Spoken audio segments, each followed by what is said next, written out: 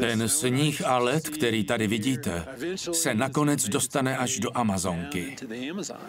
Nejde jen o vodu v řece, ale i o vodu v ledovcích, v atmosféře a v mracích. Jsou lidé, kteří se s tím snaží něco udělat. Aby si všichni mohli na té naší překrásné, úžasné planetě užívat života dál. Jdeme na to.